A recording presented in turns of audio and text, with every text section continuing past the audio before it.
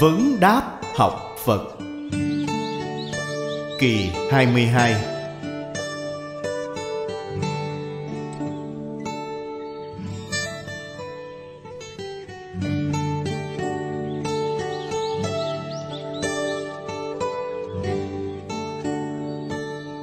Giải đáp.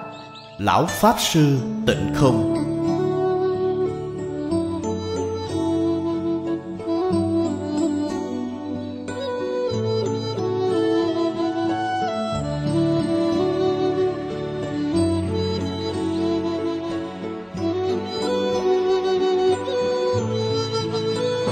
Thời gian, Ngày 23 tháng 12 năm 2005 Địa điểm Hiệp hội Giáo dục Phật Đà, Hồng Kông Quý vị Pháp Sư Quý vị đồng tu Hôm nay lại là thời gian giải đáp câu hỏi của chúng ta. Trước mặt tôi tổng cộng có 15 câu hỏi. Phần phía trước là câu hỏi của đồng tu trên mạng. Câu hỏi đầu tiên Nếu phát hiện trang trại chăn nuôi nào đó đã kiểm tra ra lợn bị bệnh, lỡ mồm, lòng móng, vẫn tiếp tục giết lợn, cung cấp cho thị trường vốn muốn tố giác, nhưng lại sợ sau khi cơ quan liên quan biết được, sẽ giết hết toàn bộ lợn của trang trại đó. Phải chịu nhân quả không tố giác lại sợ thịt lợn bệnh lan tràn ra ngoài xã hội gây hại cho mọi người. Xin hỏi nên xử lý thế nào cho thỏa đáng? Câu hỏi này thực sự là câu hỏi khó. Nếu tố cáo, đích thực là đại khái toàn bộ lợn của trang trại nuôi lợn này không con nào có thể sống sót được. Vậy thì bạn phải chịu trách nhiệm nhân quả. Không tố cáo, những thịt lợn này là thịt mang theo bệnh lan tràn ra ngoài thị trường đích thực là gây hại cho sức khỏe của con người. Một bên là con người bị tổn hại, một bên là lợn đều mất mạng. Đây là chuyện nan giải. Bạn xem nên xử lý như thế nào thỏa đáng? Tố cáo hay là không tố cáo? Ngạn ngữ trung quốc xưa có một câu nói rất hay. Đó là, biết ít chuyện thì ít phiền não. Quen nhiều người thì lắm thị phi. Bạn biết những chuyện này, bạn rất phiền phức. Coi như tôi không biết thì không có chuyện gì.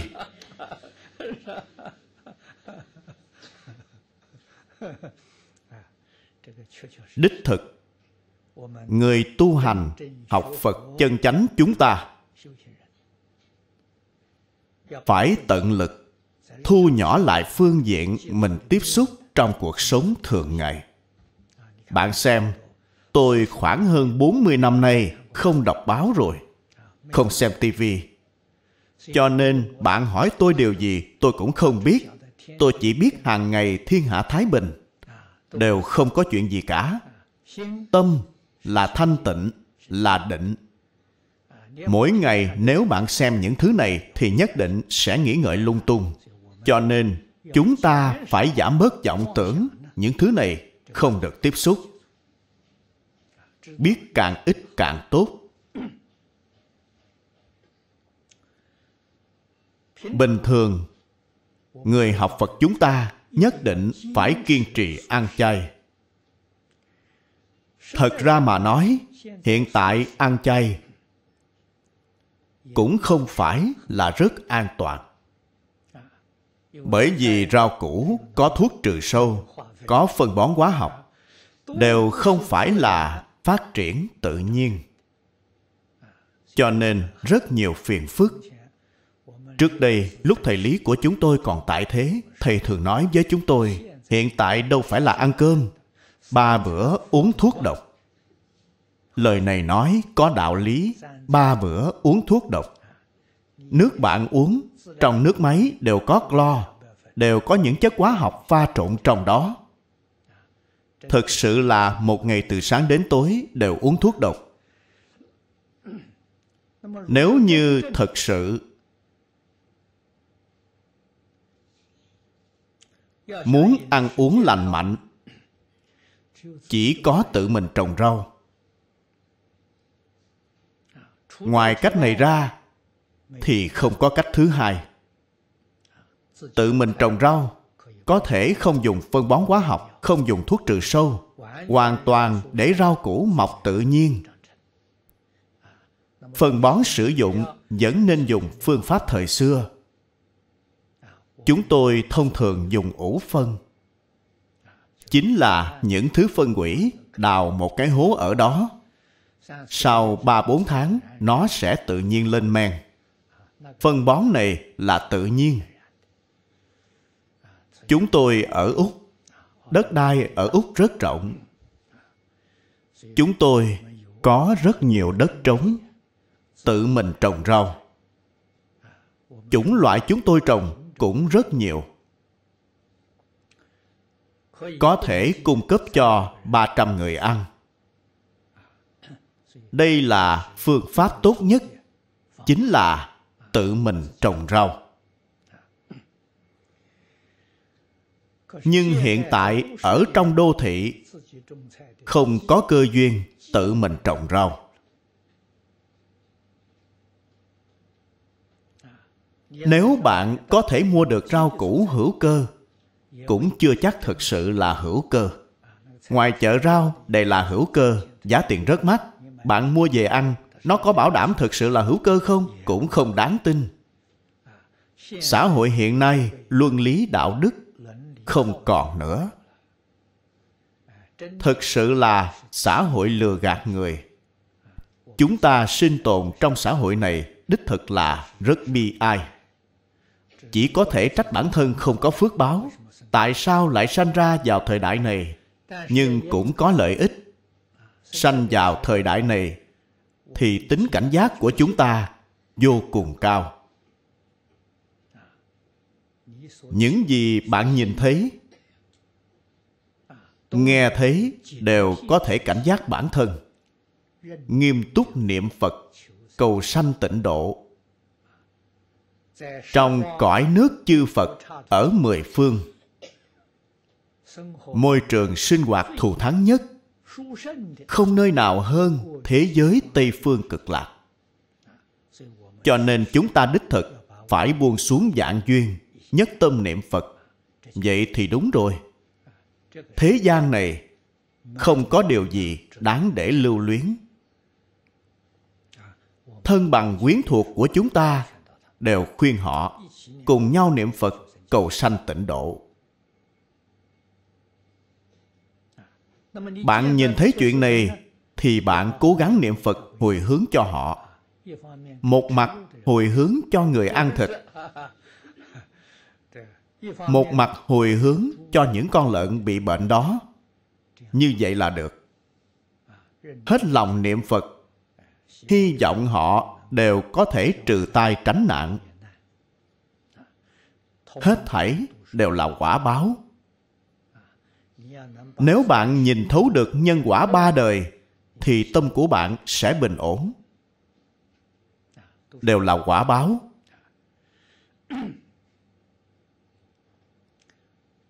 Mấy hôm trước, tôi tham dự hội nghị hòa bình quốc tế ở malaysia. Hội nghị này là do cựu thủ tướng malaysia Mahathir Mohamad chủ trì. lãnh đạo của đất nước họ chính là thủ tướng. Chế độ nội các. Đất nước này có quốc dương. Quốc dương là mang tính tượng trưng, lãnh tụ đất nước. Nhưng họ không quản chuyện. Người thực sự quản lý đất nước là thủ tướng cho nên thủ tướng là người lãnh đạo đất nước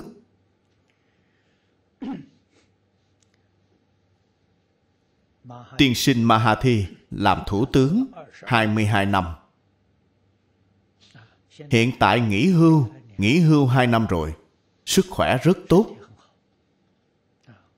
Tháng 10 năm nay là lần đầu tiên tôi gặp ông ấy. Ông ấy lớn hơn tôi 2 tuổi, sức khỏe tốt. Tôi nói, ông vẫn có thể làm được 10 năm nữa. Trước đây, ông vì đất nước của mình. Hiện tại hy vọng ông vì thế giới hòa bình. Bởi vì tôi nghe nói, ông ấy rất có hứng thú với việc hóa giải xung đột, thúc tiến hòa bình. Hội nghị tổ chức lần này là lần đầu tiên. Nhân viên tham gia, sau khi tôi đi mới biết được, đều là ông ấy tự mình mời, đều là bạn thân của ông. Chúng tôi cũng rất vinh hạnh tham gia hội nghị lần này. Chủ đề thảo luận chính là làm thế nào thực sự làm được hóa giải xung đột xúc tiến hòa bình. Những chuyên gia học giả này đưa ra rất nhiều ý kiến. Hy vọng thế gian này của chúng ta không còn chiến tranh.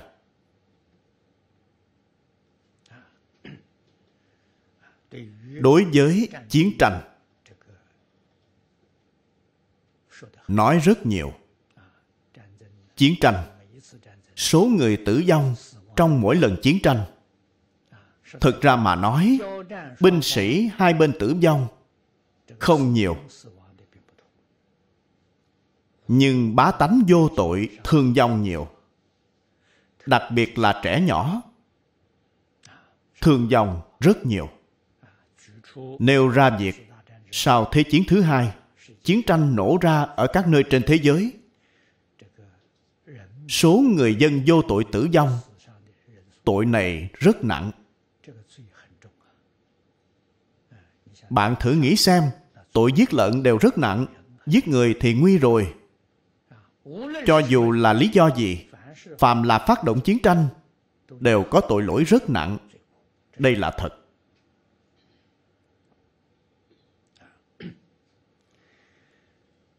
nhưng lần đầu tiên tôi tham gia gặp gỡ họ tôi cũng không dễ nói cho nên tôi chỉ nêu ra giáo học truyền thống trung quốc để cho họ tham khảo. Bởi vì tôi đã nói vấn đề xung đột trên thế gian này rất nhiều xung đột. Chiến tranh không thể giải quyết. Điều này mọi người đều biết. Ngay cả nước mỹ cũng hiểu được. Họp vẫn là không thể giải quyết. Liên Hiệp Quốc mở hội nghị 35 năm. Chính là hội nghị hòa bình thế giới bắt đầu từ năm 1970. Mỗi năm không biết đầu tư bao nhiêu nhân lực, vật lực, tài lực. Thế giới này mỗi năm càng loạn. Tỷ lệ động loạn tăng lên. Không giảm đi. Tai hại mỗi lần càng nghiêm trọng hơn cho nên rất nhiều chuyên gia học giả tham gia hội nghị. Sau khi học xong thì cuối cùng đều thở dài. Không thể thực hiện, không thể giải quyết vấn đề. Tôi tham gia lần này vì hội nghị hòa bình quốc tế lần thứ sáu. Cho nên tôi mới nghĩ ra, chúng ta phải mở lớp. Chỉ có giáo dục mới có thể giải quyết vấn đề. Đây là kinh nghiệm 5.000 năm của Trung Quốc. dựng nước quản dân, giáo dục làm đầu. Tại sao thế giới loạn như vậy? Phật bồ tát là dạy mà ra. Bậc thánh hiền cũng là dạy mà ra. Người tốt là dạy mà ra người xấu cũng là dạy mà ra. Hiện tại là những người nào dạy các bạn thử nghĩ xem. Mỗi ngày báo chí đang dạy tạp chí đang dạy tv đang dạy mạng internet đang dạy bạn mở những thứ này ra. Mặc dù tôi không xem, nhưng tôi biết rất rõ nội dung là gì. Sát đạo dâm vọng sắc tình bạo lực. Không phải là những thứ này sao? Còn có gì hay ho để xem chứ? Những thứ này là dùng khoa học kỹ thuật cao như vậy. Truyền thông hiện nay phát sóng, ai nấy đều học cái xấu cho nên trẻ nhỏ, tôi nghe nói trẻ nhỏ hai ba tuổi đã phạm tội. Bạn xem, vậy có nguy không? Chúng học từ đâu? Học từ tivi chúng không biết giết người là có tội, giết người là sai chúng không có khái niệm này. Chúng học được từ đó. Chúng bắt chước làm theo. Thậm chí hỏi chúng tại sao lại muốn giết người, muốn làm hại người khác. Bản thân chúng không biết. Làm hại người khác có hậu quả gì, chúng cũng không biết. Cho nên đây là vấn đề giáo dục. Vẫn là quay về giáo dục mới có thể giải quyết tôi chỉ đề nghị điểm này. Trong phật pháp giảng rất cứu cánh. Bạn xem trong kinh luận, đức phật thường giảng, muốn biết kiếp đào binh trên thế gian. Bạn muốn biết được thế gian này, kiếp đào binh chính là chiến tranh. Hãy nghe âm thanh lò mổ lúc nửa đêm. Bạn chỉ cần đi xem lò mổ giết lợn nửa đêm giết lợn, bạn nghe thử âm thanh kêu gào đó. Đó là gì? Đó là nguồn gốc của chiến tranh, nhân của chiến tranh. Hoàn hoàn tương báo bao giờ mới dứt? Đức phật còn có một câu nói rất hay. Nếu như muốn thế giới này vĩnh viễn, không có chiến tranh, đức phật đã nói, trừ phi chúng sanh không ăn thịt những người tham gia hội nghị hiện nay, lúc chúng tôi dùng bữa vẫn là có thịt. Mỗi người đều đang ăn thịt. Chúng ta hàng ngày đều đang ăn thịt. Nói không có chiến tranh, vậy thì làm sao được? Làm sao có thể tránh khỏi?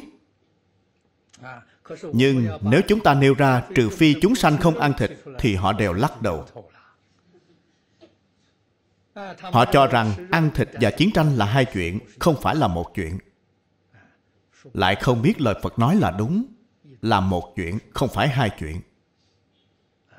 Cho nên, chúng ta phải bắt đầu làm từ giới sát, phóng sanh, làm cho họ thấy, để họ dần dần giác ngộ được.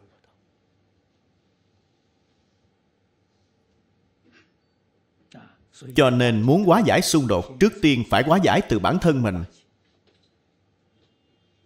bản thân tôi không kết quán thù với tất cả chúng sanh nữa, phải bắt đầu làm từ chỗ này. Thì xung đột mới có thể hóa giải. Chiến tranh mới có thể tránh khỏi. Không phải không thể tránh khỏi, xem chúng ta có giác ngộ không, có thực sự chịu làm không. Cho nên vấn đề mà bạn hỏi xử lý như thế nào? Tự mình tụng kinh niệm phật, thành tâm hồi hướng cho họ. Câu hỏi thứ hai con là một cô gái ở vùng chăn nuôi tỉnh thanh hải.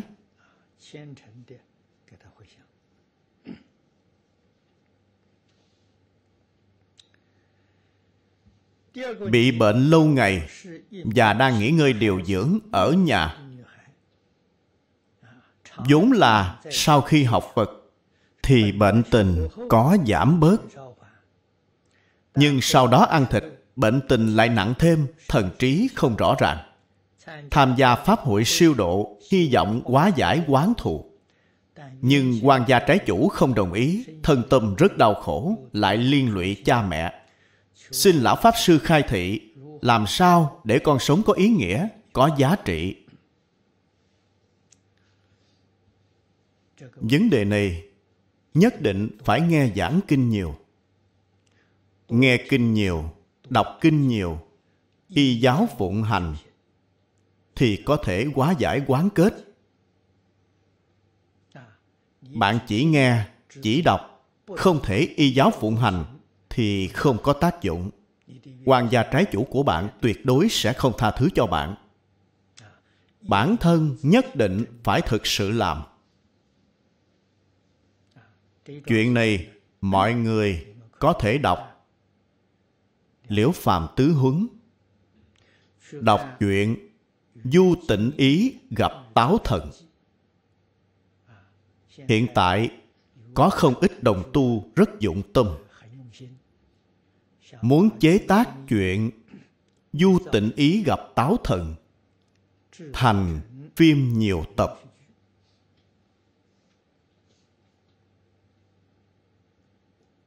Hai tuần trước tôi xem kịch bản là đồng tu đài loan làm. Hôm kia, đồng tu trong nước cũng gửi kịch bản tới. Tôi dùng cả ngày hôm qua và sáng ngày hôm nay xem xong. Tổng cộng có sáu tập. Viết rất hay. Đặc biệt là nửa đoạn sau, rất cảm động. Làm thế nào cải tạo vận mệnh? Tôi tin rằng, tất cả những nghiệp chướng của mọi người,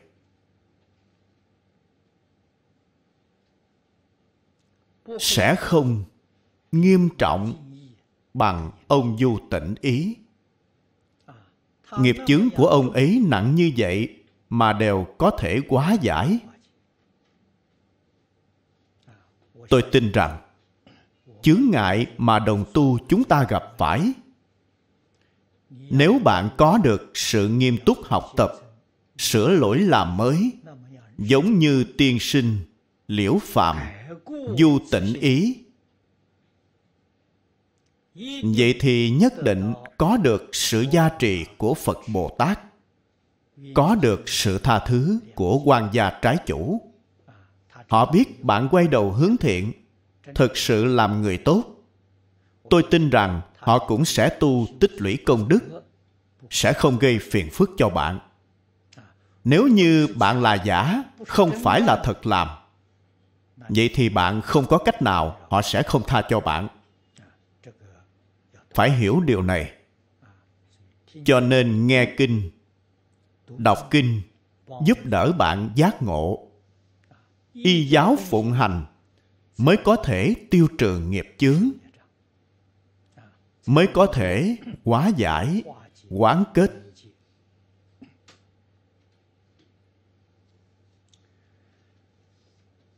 Nếu sau khi bạn đọc hai quyển sách này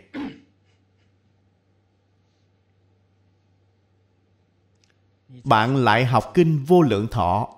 Bạn lại niệm phật cầu sanh tịnh độ, thì hiệu quả sẽ khác.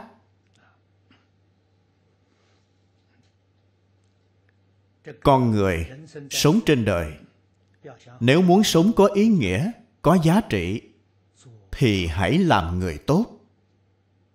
Đây chính là có ý nghĩa, là thực sự có giá trị. Không cần cầu làm quan lớn. Không cần cầu phát tài lớn. Tại sao vậy?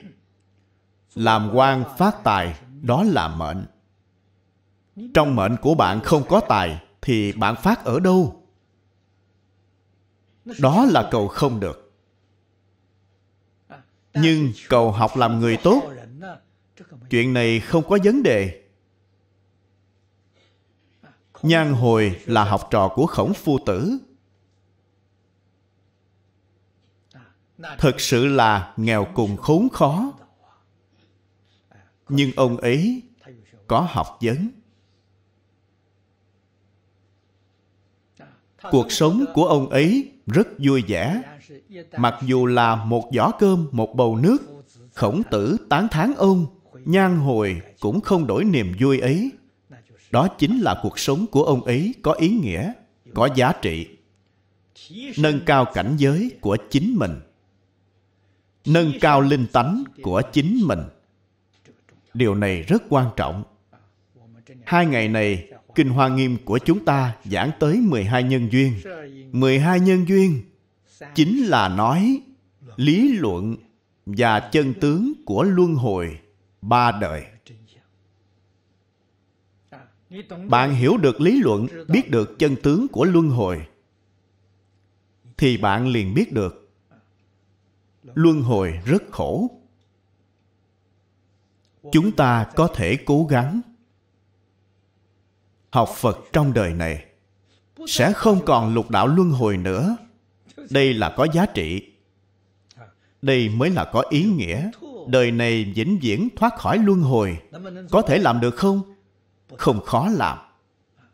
Chỉ cần bạn thực sự cố gắng học tập theo phương pháp mà phật đà dạy bạn, mỗi người đều có thể làm được. Thời nhà đường, đại sư thiện đạo từng nói một câu, pháp môn này gọi là dạng người tu, dạng người đi. Tại sao người học phật nhiều, người thực sự giảng sanh lại ít như vậy? Đó là do họ học không như pháp không thấu triệt lý luận. Phương pháp sai lầm. Mặc dù cầu giảng sanh, nhưng vẫn tạo nghiệp như cũ.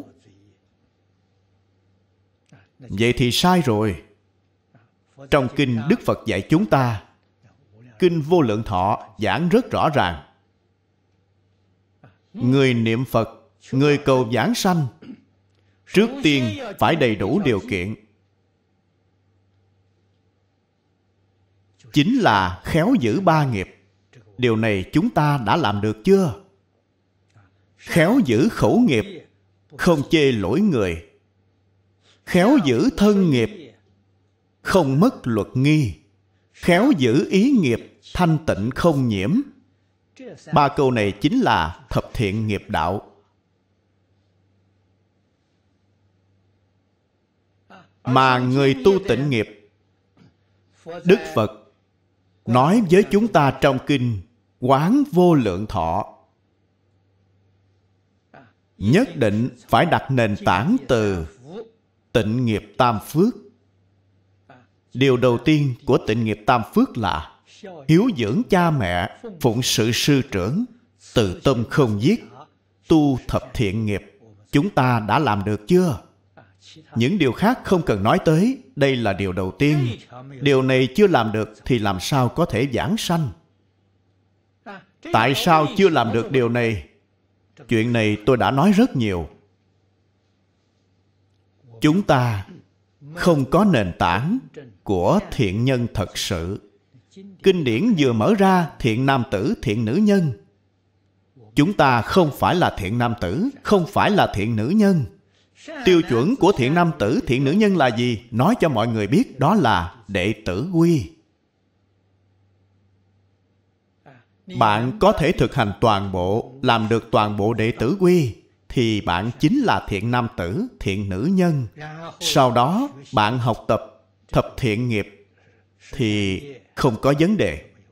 Rất dễ dàng, không khó chút nào. Không có đệ tử quy, thì không làm được thập thiện nghiệp cho nên thập thiện nghiệp chính là thực hành hiếu dưỡng cha mẹ phụng sự sư trưởng. Thực hành được hai câu đầu trong tịnh nghiệp tam phước này. Sau đó bạn mới có thể học thập thiện nghiệp. Có nền tảng thập thiện nghiệp, bạn mới thực sự có thể thọ tam quy ngũ giới nếu không thì tam nguyên ngũ giới đều là giả, tuyệt đối không phải là thật. Chúng ta nhất định phải hiểu đạo lý này. Cho nên những năm này, tôi vô cùng coi trọng học tập đệ tử quy. Cho dù là đồng tu tại gia hay xuất gia, tôi đều bảo họ nghiêm túc học tập đệ tử quy. Quan trọng hơn bất kỳ điều gì gốc rễ của gốc rễ, nền tảng của nền tảng. Đệ tử quy, thật ra mà nói, chính là dạy bạn làm người tốt, chính là dạy bạn làm thiện nam tử, thiện nữ nhân. Các bạn thử nghĩ xem, điều này quan trọng biết bao.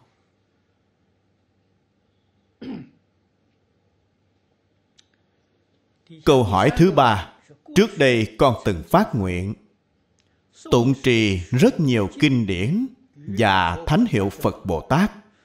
Nhưng hiện tại, hy vọng chuyên tâm học tập pháp môn tịnh độ. Xin hỏi lão pháp sư, nên buông xuống, lời thệ nguyện đã phát trước đây như thế nào mới như lý như pháp?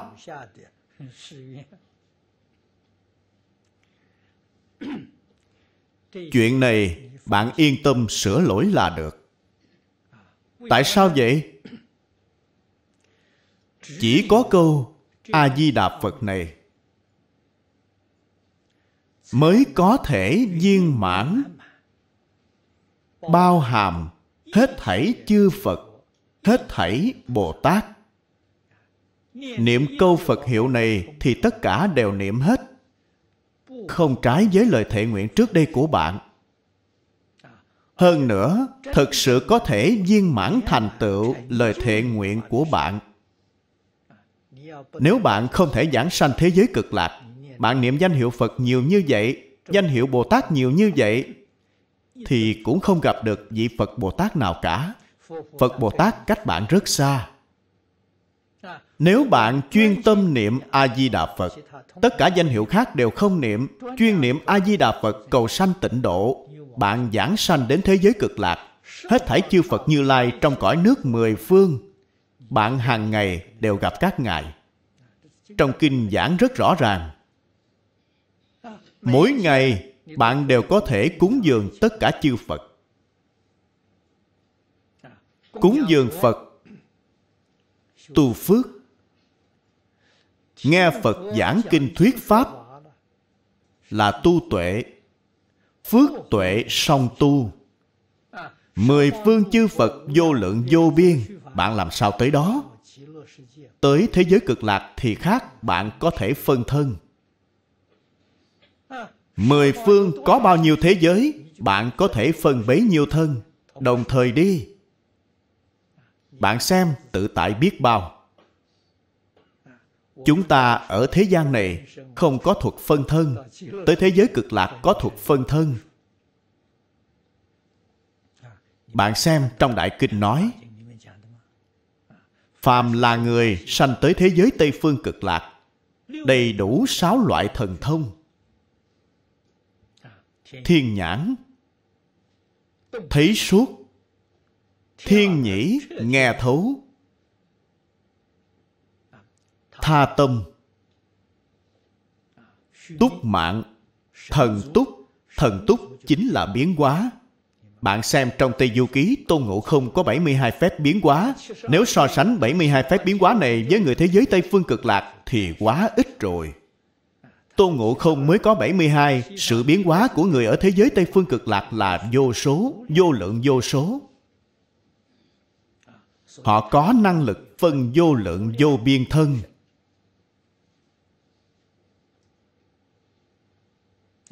Đi cúng dường Phật, đi nghe Pháp, công đức tu hành một ngày ở thế giới Tây Phương cực lạc, chúng ta ở thế giới này bao nhiêu kiếp cũng không thể sánh được. Đây là điều nhất định phải hiểu. Pháp môn thù thắng như vậy cũng không phải là rất khó thành tựu. Nhất định nắm chắc thời gian. Trong đời này làm chuyện này có ý nghĩa nhất, có giá trị nhất.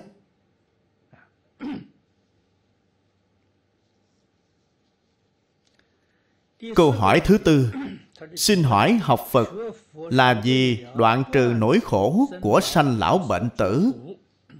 Hay là vì chúng sanh vô biên thệ nguyện độ? Hai điều này nên phối hợp như thế nào? Hai điều này là một chuyện. không phải là hai chuyện cho nên không cần phải phối hợp. Nhưng mà hai điều này nhất định phải đặt sanh tử lên hàng đầu. Tại sao vậy? Bản thân chúng ta không thể liễu thoát sanh tử. Thì bạn làm sao có thể độ chúng sanh? Phải hiểu đạo lý này. Chúng ta niệm phật cầu sanh tịnh độ. Trong đời này cho dù không biết chữ, không biết giảng kinh thuyết pháp, chỉ biết câu a di đà phật này thì có thể phổ độ chúng sanh. Trong số đồng tu, ở Hồng Kông 30 năm trước ở Hồng Kông có một vị tước sĩ Hà Đông tôi nghĩ là người lớn tuổi ở Hồng Kông đều có thể nhớ bạn xem vợ của ông Hà Đông bà ấy giảng sanh thù thắng biết bao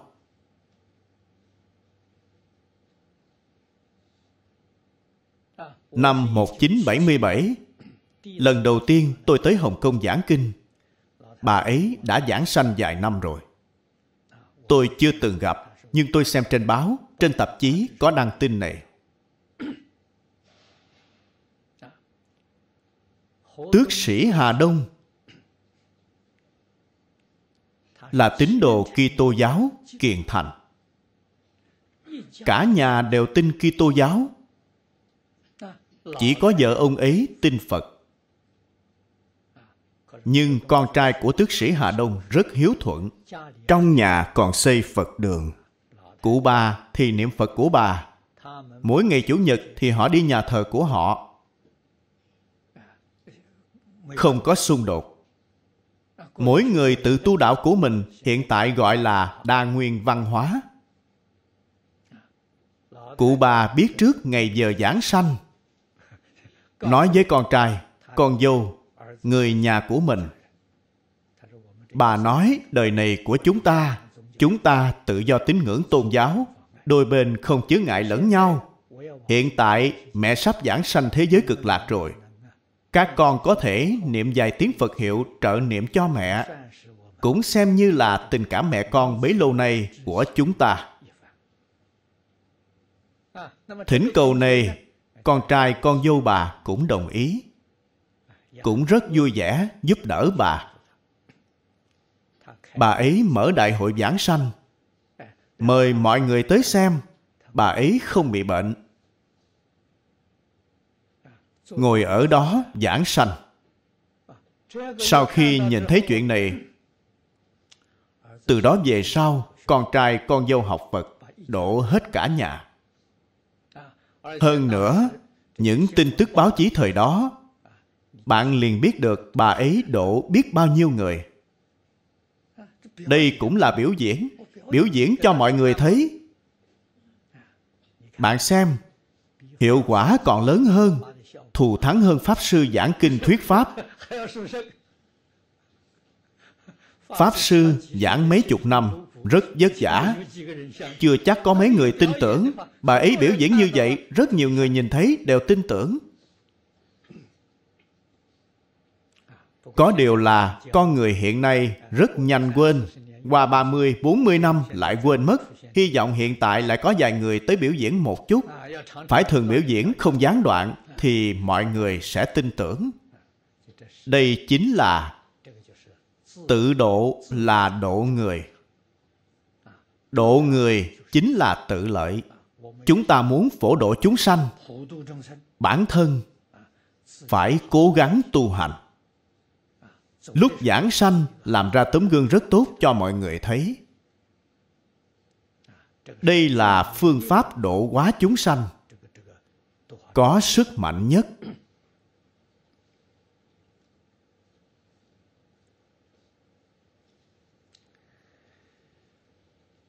Câu hỏi thứ năm. Chúng sanh thời mạt Pháp đều có tình huống bị quỷ thần quấy nhiễu có người còn giống như trong trạng thái nửa tỉnh nửa mê, bị cưỡng ép tà dâm. Lâu ngày, thân tâm đích thực đau khổ không chịu nổi. Xin lão pháp sư khai thị. Nói đến chỗ này, chúng ta nhất định phải hiểu. Xã hội loạn thì quỷ thần cũng loạn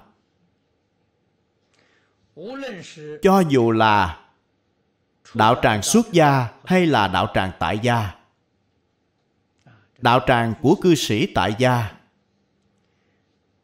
tất cả đều có yêu ma quỷ quái. Hơn nữa, yêu ma quỷ quái rất nhiều.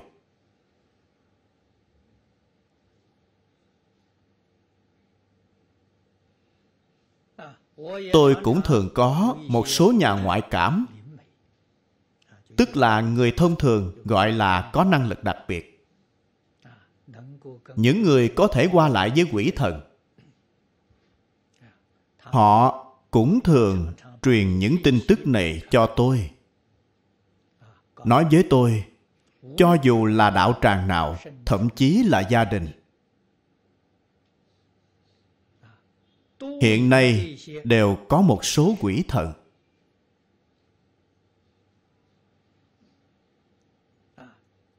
Ngoài quỷ thần ra, còn có tinh linh. Chúng ta gọi là yêu ma quỷ quái.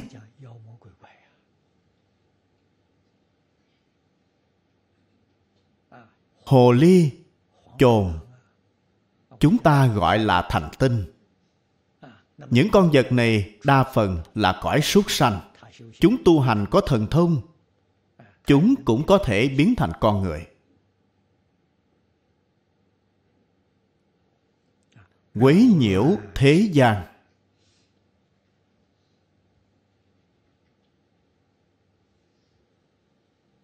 Những tinh linh này đặc biệt là tinh linh. Nếu chúng có thể nghe kinh, có thể nghe pháp, chúng sẽ trở thành thần hộ pháp. Chúng sẽ không gây phiền phức cho con người. Nếu như không nghe kinh, không học phật thì chúng sẽ hại người. Chúng sẽ trêu chọc con người. Đây là hiện tượng phổ biến trong xã hội trung quốc, ở nước ngoài ngày nay.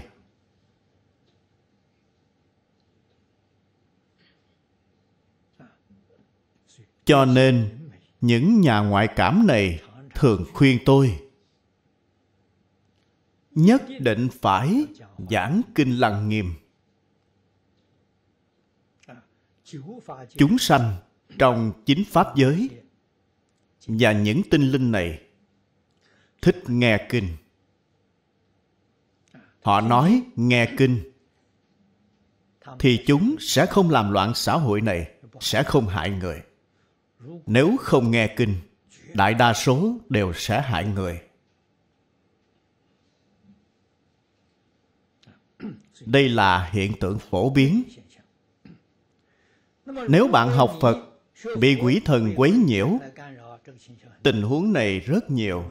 Chúng tôi đều gặp được ở khắp nơi trên thế giới. Đa phần tới sau cùng đều tinh thần phân liệt. Sau cùng không còn cách nào đành phải đưa tới bệnh viện tâm thần. Rất khổ, vô cùng khổ.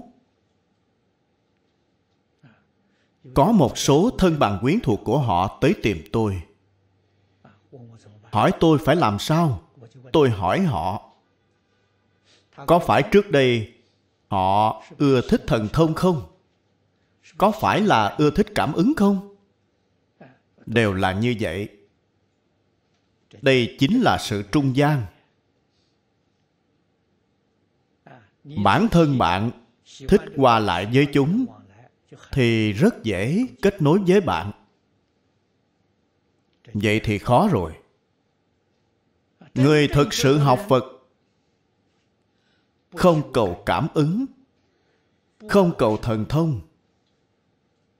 Đó là không có sự trung gian với chúng, không có duyên.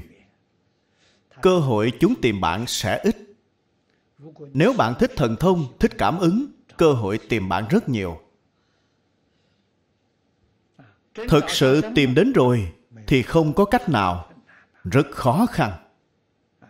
Bạn tìm pháp sư người tu hành như thế nào đi nữa cũng không cách nào giải quyết cho bạn được.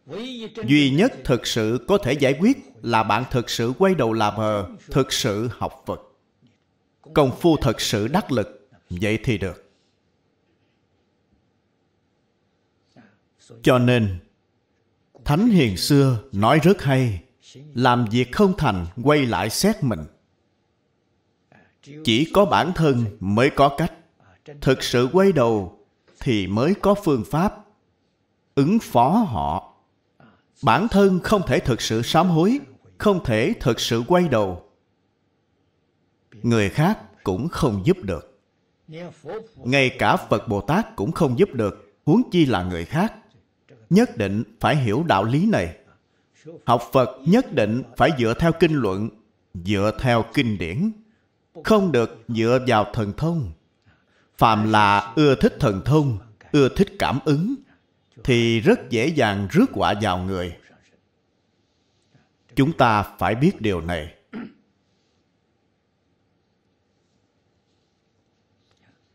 Nếu gặp phải tình huống này, bạn tới hỏi tôi có thể vẫn còn rất nhẹ, không phải rất nghiêm trọng. Lúc nghiêm trọng thì bản thân bạn không hỏi được. Bạn vẫn còn rất nhẹ rất nhẹ. Chỉ cần quay đầu thì rất dễ chữa khỏi, rất dễ khôi phục sức khỏe của bạn. Chỉ cần hết lòng niệm phật, buông xuống những thần thông cảm ứng này. Không cần để ý đến chúng nữa. Không nên tiếp xúc với chúng nữa. Như vậy là được.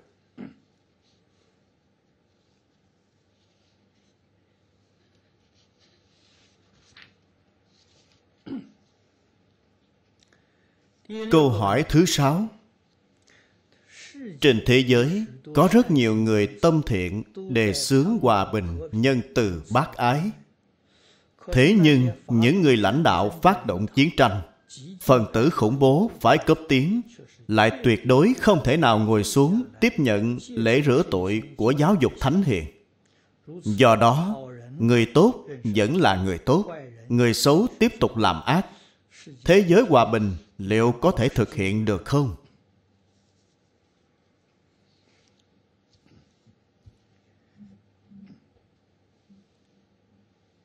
Phật giáo là giáo dục. Không chỉ phật giáo là giáo dục, tất cả các tôn giáo đều là giáo dục. Cho nên chúng tôi dạy học trong nhiều năm như vậy. Giáo dục thường tiếp xúc, có bốn loại lớn. Loại đầu tiên là giáo dục gia đình loại thứ hai là giáo dục trường học. Loại thứ ba là giáo dục xã hội. Loại thứ tư là giáo dục tôn giáo. Các bạn quan sát tỉ mỉ. Người sáng lập bất kỳ tôn giáo nào. Có ai không giảng kinh thuyết pháp, giáo hóa chúng sanh? Thích Ca Mâu Ni Phật dạy học là dài nhất 49 năm. Chúa Giêsu dạy học 3 năm, bị người khác hại chết. Muhammad dạy học hơn 20 năm. Khổng phu tử ở Trung Quốc dạy học 5 năm. Không có tôn giáo nào không phải là giáo dục chúng ta phải rõ ràng điều này phàm là người làm công việc giáo dục lý niệm quan trọng nhất chính là khẳng định bản tánh của con người vốn thiện. Bạn xem câu đầu tiên trong tam tự kinh của trung quốc nói, người ban đầu tánh vốn thiện. Trong phật pháp, bạn xem kinh điển giảng rất nhiều. Hết thảy chúng sanh đều có phật tánh, hết thảy chúng sanh vốn dĩ thành phật.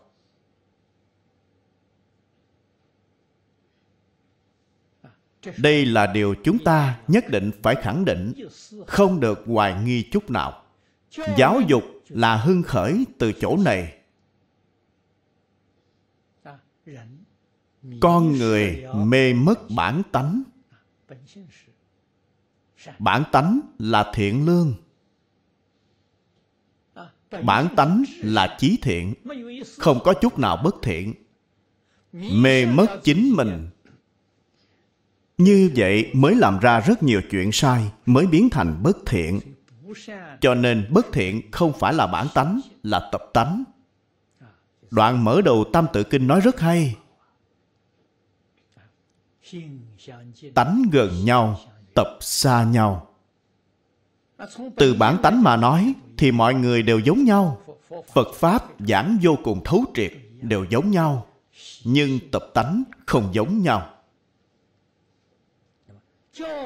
mục đích.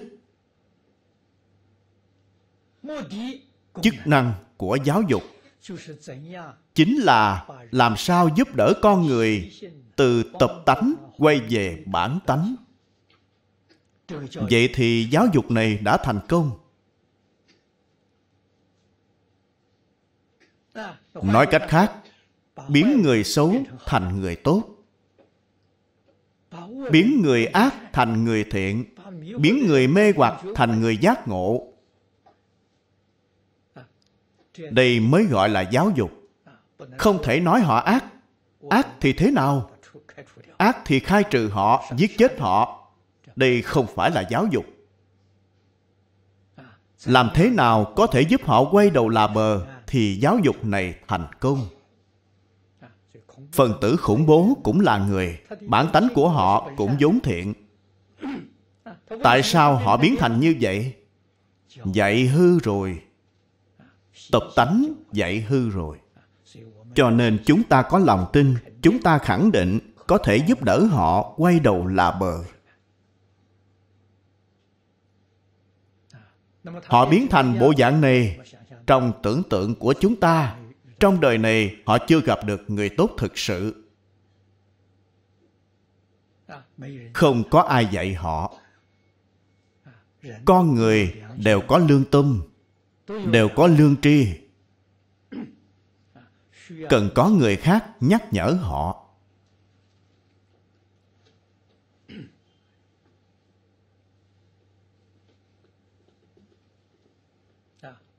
Tháng 6 năm nay tôi tới mỹ.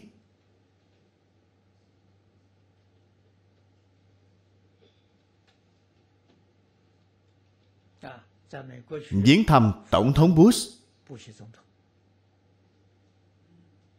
Đây là họ mời tôi tới. Tôi khuyên họ phải coi trọng giáo dục luân lý đạo đức.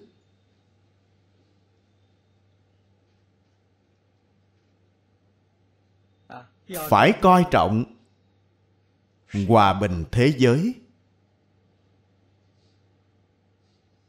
Tôi nói với ông ấy rất rõ ràng.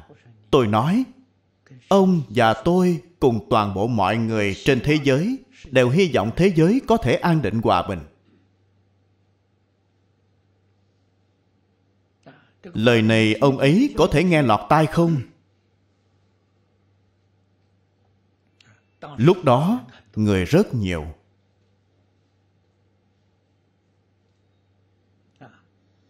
Tôi e là sau khi nói xong lời này, nghe xong quên mất ngay.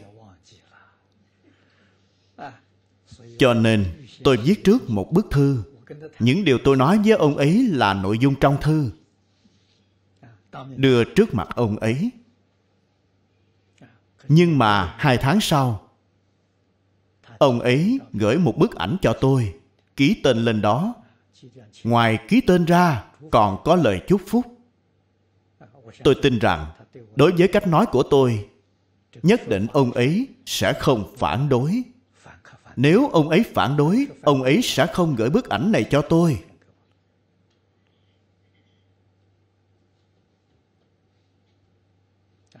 Cho nên, lần này ông ấy tới thăm trung quốc rất nhiều đồng tu trung quốc nói với tôi, thái độ lần này của ông ấy rất ôn hòa, không giống trước đây.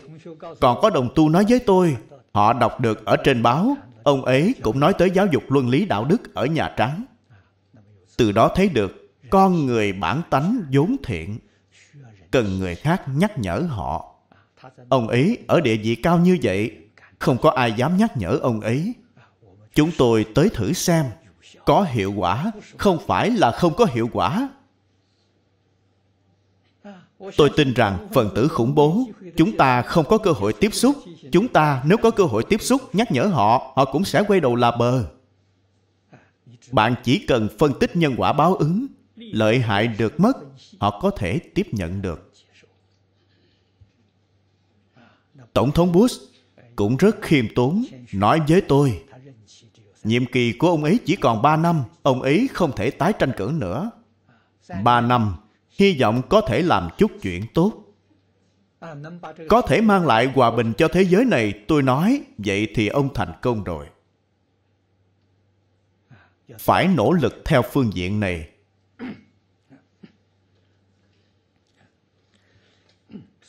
Chỉ cần thành tâm, thành ý làm bản thân chúng ta không có chút mong cầu tự lợi nào.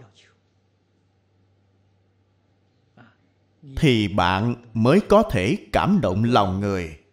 Nếu bạn vẫn còn cầu danh, cầu lợi, nhân địa của bạn không thật. Thành ý của bạn không đủ. Chúng ta là không mong cầu điều gì cả. Chỉ hy vọng xung đột vĩnh viễn không phát sanh nữa.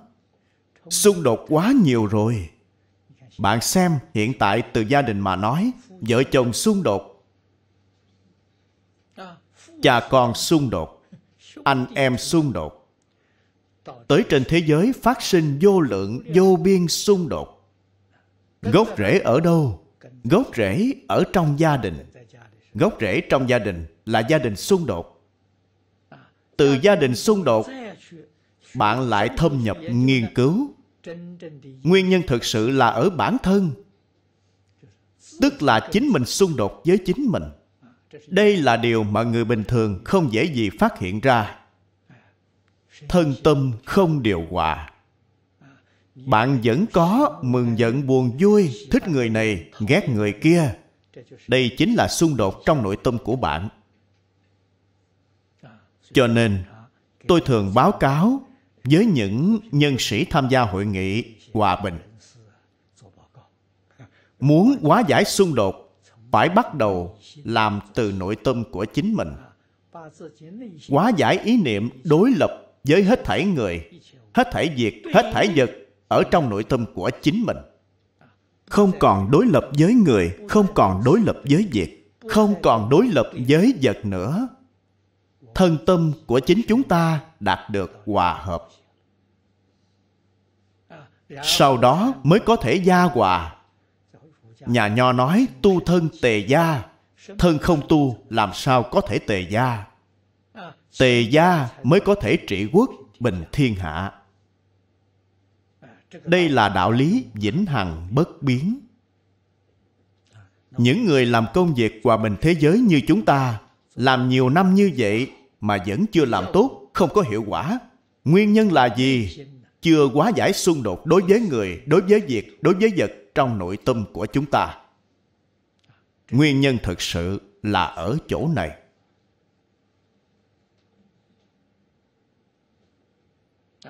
Giết người là có tội. Giết động vật có tội không? Đó cũng là một sanh mạng hiện nay bạn nói nhân quyền. Động vật chúng cũng có quyền lợi.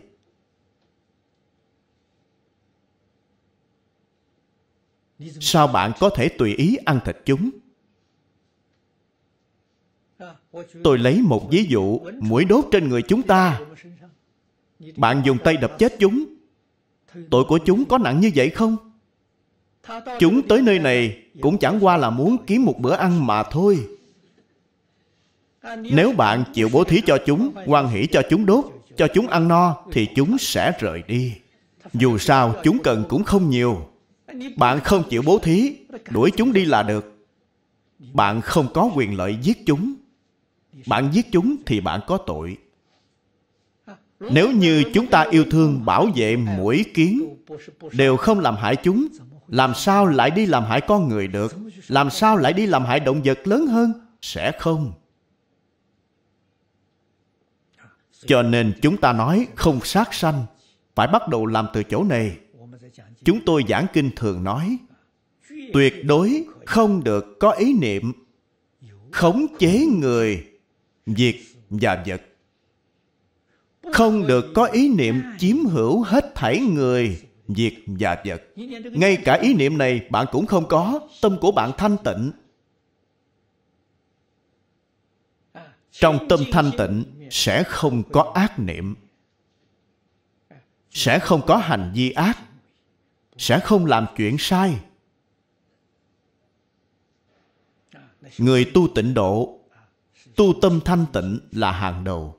Tâm tịnh tức cõi phật tịnh.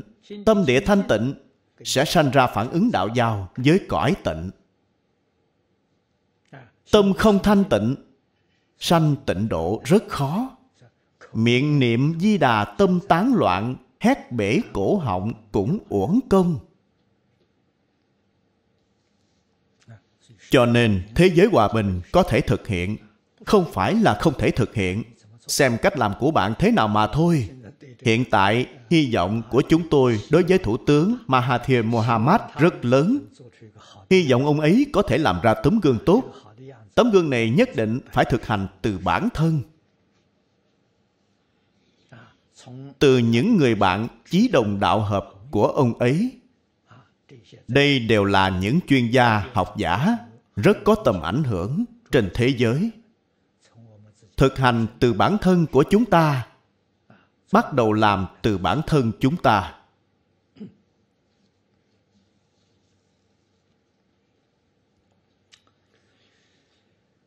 Câu hỏi thứ bảy, xung đột chiến tranh từ xưa đến nay đa phần là thỏa mãn giả tâm dục vọng cá nhân của một số ít người, mà tạo thành đau khổ cho đa số dân chúng vô tội.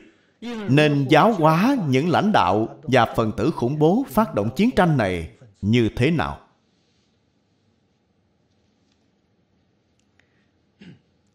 Những vấn đề này phải giảng giáo dục nhân quả. Mới thực sự có hiệu quả. Trung quốc, từ xưa đến nay, ít nhất chúng ta có thể suy luận, dạy học được năm ngàn năm. Cho nên nói tới giáo dục, người trung quốc có kinh nghiệm phong phú nhất. Dạy học năm ngàn năm, trí tuệ năm ngàn năm phương pháp năm ngàn năm. Nội dung năm ngàn năm. Hiệu quả năm ngàn năm. Trên thế giới không tìm được nhà thứ hai. Trung quốc từ xưa đến nay. Dạy người điều gì? Thứ nhất là dạy luân lý đạo đức thứ hai là dạy nhân quả.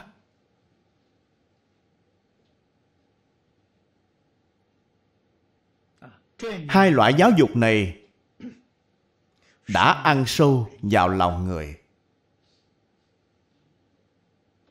Về các công trình kiến trúc cơ bản, có ba thứ.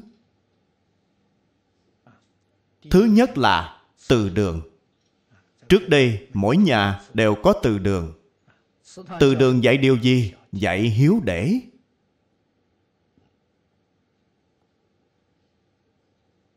Thứ hai là khổng miếu. Mỗi quyện đều có khổng miếu. Khổng miếu dạy điều gì? Khổng miếu dạy luân lý đạo đức.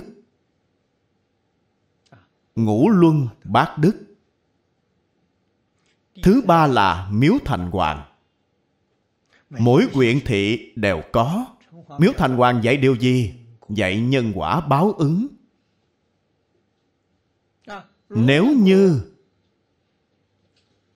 những phần tử hiếu chiến, phần tử khủng bố, nếu họ học được giáo dục luân lý, học được giáo dục nhân quả báo ứng, tôi tin rằng họ sẽ buông xuống chuyện này họ sẽ không dám làm nữa. Tại sao vậy? Quả báo chẳng thể nghĩ bàn. Làm những chuyện này, quả báo ở ba đường ác. Ba đường ác dễ tiến vào mà không dễ thoát ra. Ai bằng lòng làm chuyện ngốc nghếch này cho nên, phàm là những giả tâm, dục vọng này đều là do không hiểu nhân quả báo ứng. Giáo dục nhân quả quá quan trọng. Hiện tại ở trung quốc đại lục không còn từ đường nữa, không còn từ đường nữa. Gốc rễ luân lý đạo đức bị nhổ bỏ.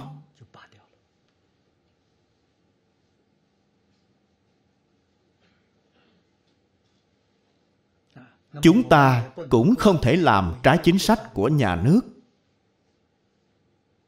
Nhưng chính sách sẽ thay đổi. Không phải là đã hình thành thì không thay đổi. Có thể 100 năm sau, có thể 200 năm sau. Từ đường sẽ khôi phục. Bởi vì đó thực sự là thứ tốt. Chúng ta hiện nay dùng nhà tưởng niệm tổ tiên dạng thọ. Thay cho từ đường. Chúng ta tưởng nhớ tổ tiên của chính mình.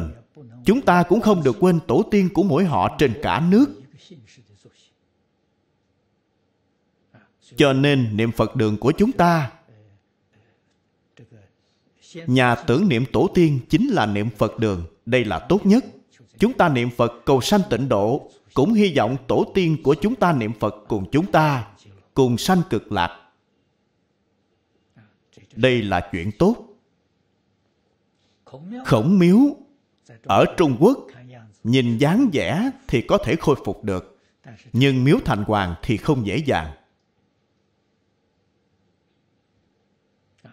Tinh hoa trong miếu thành hoàng chính là điện diêm dương mười điện diêm dương này, điện diêm dương, đó chính là dạy nhân quả báo ứng.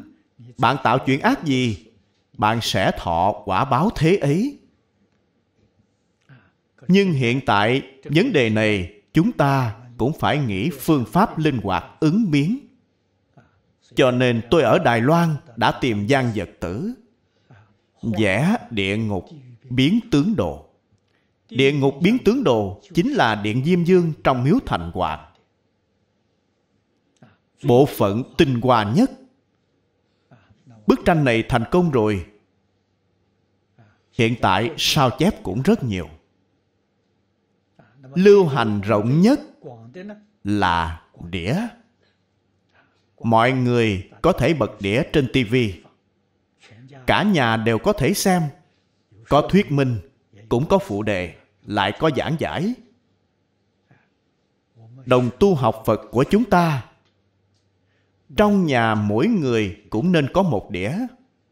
Thường mang theo người thân bạn bè của bạn. Khi có người tới nhà bạn chơi, đừng xem những thứ khác, hãy xem cái này. Nhà của bạn chính là phật bồ tát hộ trì thiên long quỷ thần bảo hộ. Hơn nữa, bản thân bạn thường xem, bạn sẽ thường đề cao cảnh giác. Không dám phạm tội, không dám làm ác. Vậy thì công đức vô lượng.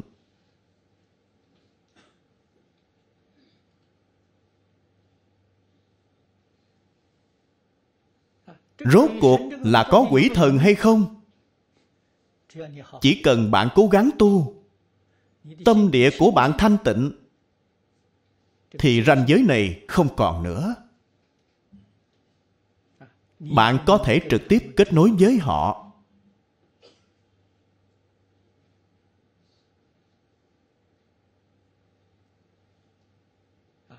Kết nối là tự nhiên bạn đừng phan duyên. Phan duyên sẽ có một số ngạ quỷ tiến vào nhà của bạn.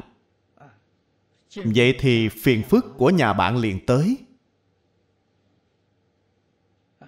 Không được phan duyên, hãy để tự nhiên. Công phu của bạn đạt thì sẽ thông.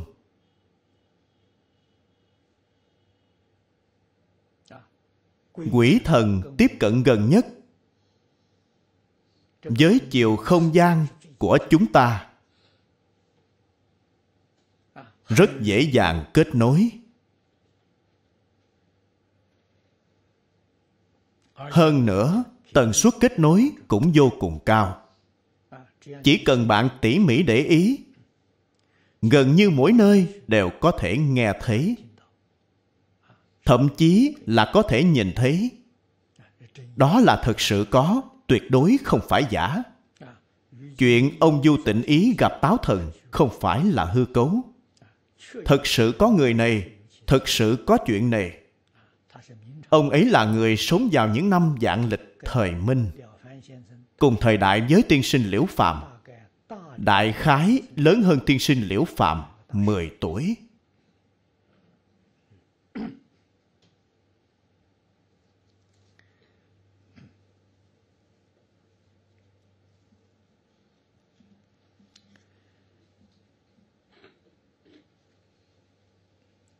Câu hỏi thứ 8 Dưới chế độ dân chủ, Con người thường dùng diễu hành thị quy, Đình công bỏ học để biểu đạt ý dân.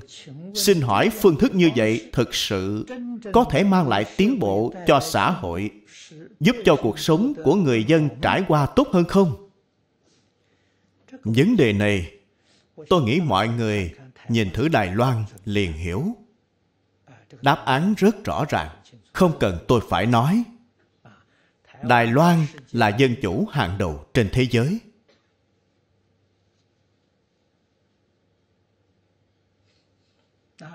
Người dân có thể mắng tổng thống ở ngoài đường. Không coi là phạm pháp. Là đất nước dân chủ tiên tiến nhất trên toàn thế giới. Bạn tới đó xem thử thì bạn sẽ hiểu được người dân ở đó sống những ngày tháng như thế nào? Vấn đề này, lúc tôi giảng kinh, cũng giảng rất nhiều. Đầu óc của chúng ta nhất định phải rõ ràng, phải tỉnh táo. Rốt cuộc là dân chủ tốt hay là hoàng đế tốt? Vấn đề này tôi nghĩ các đồng tu cũ đều biết. Lần đầu tiên tôi tới singapore. Pháp sư diễn bồi, đây là bạn học cũ của tôi. Có một hôm ông ấy mời tôi ăn cơm, ông ấy đưa ra vấn đề này. Ông ấy nói, pháp sư tịnh không, thầy tán thành dân chủ hay là tán thành hoàng đế? Tôi nói với ông ấy, tôi tán thành hoàng đế, tôi không tán thành dân chủ. Thầy ấy nói, thầy là người bảo thủ. Nói tôi là người bảo thủ tôi nói tôi không bảo thủ. Tôi có đạo lý nói cho thầy nghe thử. Hoàng đế mặc dù là chuyên chế họ hy vọng con cháu của họ đời đời tương truyền. Thì nhất định phải làm chính trị cho đàng hoàng thì họ mới truyền lại được nếu con cháu của họ bất tài, thì chính quyền của họ sẽ bị người khác lật đổ. Cho nên trước đây làm hoàng đế là nơm nớp lo sợ. Đăng cơ, tức là hiện tại nói nhậm chức, đại sự đầu tiên là gì? Lập thái tử, bồi dưỡng người kế thừa. Họ chọn người con trai ưu tú nhất trong số những người con của mình. Sau đó, mời những người thầy tốt thực sự có học vấn, có đạo đức tới dạy thái tử. Người bình thường không có cơ hội này, cho nên thái tử được nhận nền giáo dục tốt nhất. Điều này bạn không thể không thừa nhận. Dân chủ là bầu cử ra, chưa chắc được tiếp nhận nền giáo dục tốt như vậy. Cho nên thánh hiền trung quốc xưa nói, làm chính trị bằng đức. Không quan trọng là dân chủ hay quân chủ, quan trọng nhất là họ có đức hạnh. Họ có đức hạnh cho dù là dân chủ hay quân chủ. Yêu thương nhân dân, thực sự giải quyết vấn đề thay cho nhân dân, thì có gì không tốt? Đều tốt, nếu không có đức hạnh. Đối xử không tốt với nhân dân, vậy thì dân chủ cũng không tốt, quân chủ cũng không tốt. Cho nên, giáo dục luân lý đạo đức quan trọng. Cho nên tôi nghĩ, vào thời đế dương bồi dưỡng người lãnh đạo đất nước tiếp nhận giáo dục luân lý đạo đức tốt nhất. Tôi là nghĩ đến điểm này.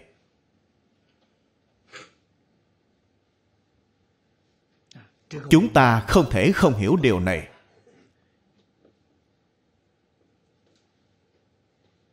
Nhà mãn thanh diệt vong tiên sinh tôn trung sơn tổ chức quốc dân đảng. Tôi rất khâm phục. Tôi cảm thấy sáng kiến này của ông ấy rất tốt. Tại sao vậy? Dân chủ, quân chủ đều có đủ cả. Quân chủ là một gia tộc quản lý đất nước này dân chủ là dùng một đảng phái, tập hợp những tinh anh của đất nước, tổ chức thành đảng này để quản lý đất nước. Lý niệm này là đúng đắn. Hơn nữa, trong lý niệm của tiên sinh tôn là một đảng. Tuyệt đối không có đảng thứ hai, là một đảng chuyên chế. Đảng này tập hợp tinh anh của đất nước. Ông ấy làm chưa tốt, ông ấy chưa thành công thứ nhất là tuổi thọ của ông ấy quá ngắn. Chưa được mấy năm 60 tuổi ông ấy đã qua đời. Thứ hai là ông ấy bỏ qua một chuyện. Đó chính là bạn tổ chức nên đảng này, trong đảng này phải tìm thầy giáo tốt nhất.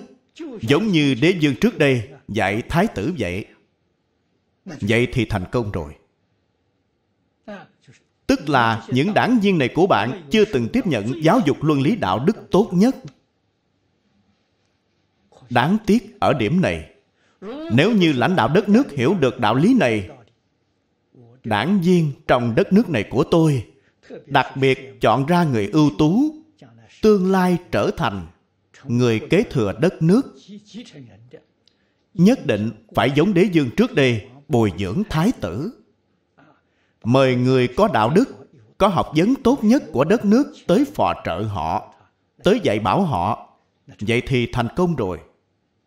Dân chủ này sẽ không thua kém gì thời đại của đế dương đây là cách nhìn, cách nghĩ của tôi. Những cách nghĩ, cách nhìn này không giống với rất nhiều người. Tôi không chủ trương chuyện gì cũng ra đường tại sao vậy?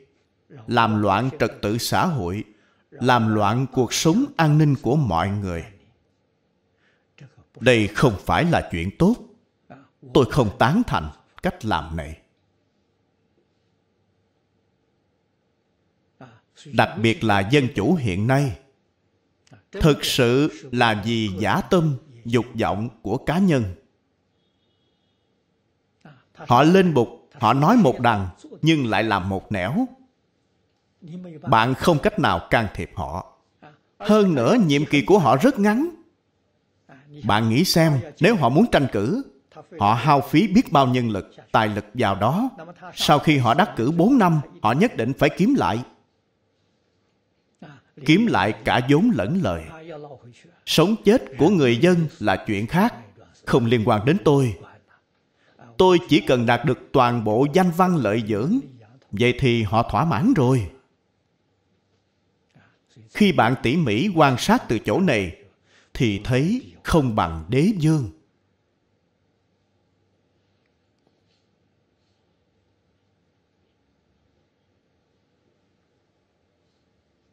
nói tóm lại một câu câu cuối cùng này hỏi rất hay nhất định là giúp cho cuộc sống của người dân trải qua tốt hơn.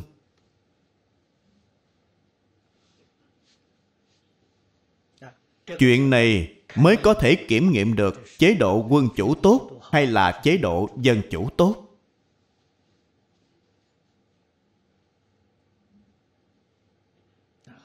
Lịch sử, văn hóa, tình hình của mỗi đất nước không giống nhau chuyện này đều phải suy xét đến. Tôi ở nước mỹ 15 năm. Người mỹ cho rằng chế độ của họ rất tốt. Toàn thế giới đều nên học tập theo họ.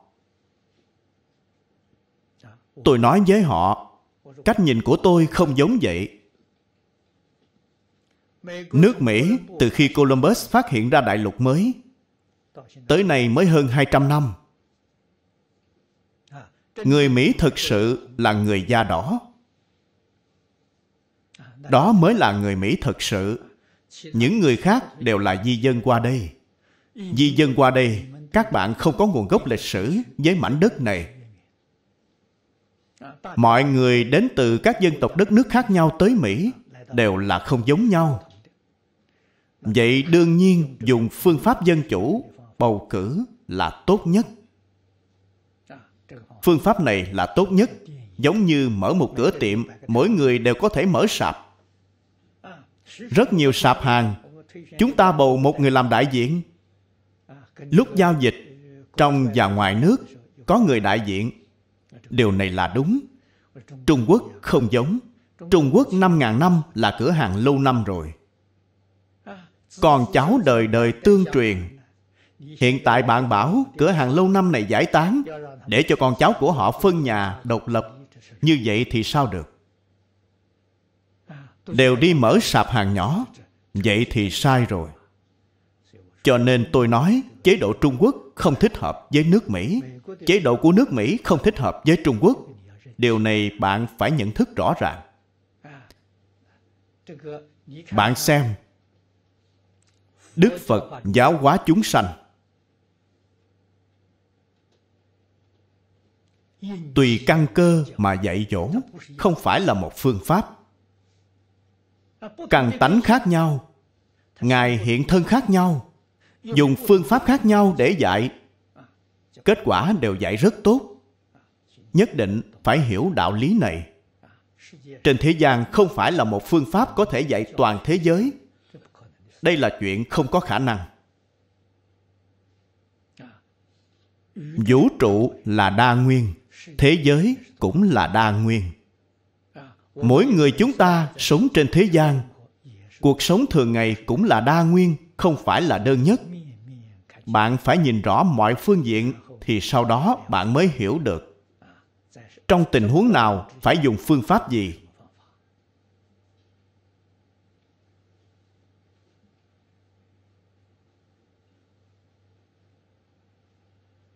Chúng ta nghĩ tới điểm này mới biết lời người xưa nói có đạo lý. Luân lý đạo đức quan trọng. Cho nên hiện tại tôi giảng giáo dục, thông thường tôi giảng ba trọng điểm giáo dục luân lý đạo đức, giáo dục nhân quả, giáo dục tôn giáo. Có thể làm tốt ba giáo dục này, thực sự là xã hội an định, thiên hạ thái bình.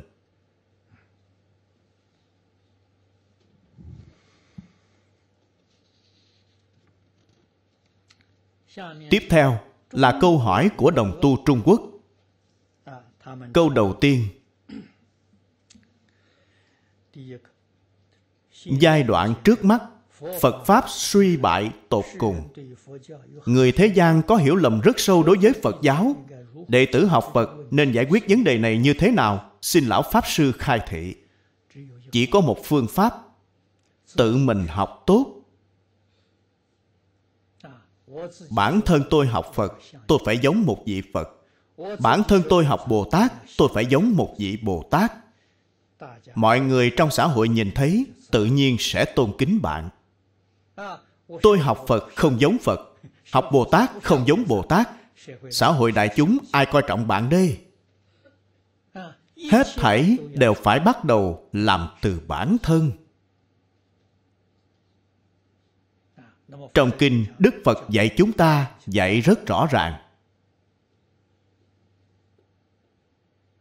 Chúng ta phải ghi nhớ một câu quan trọng nhất.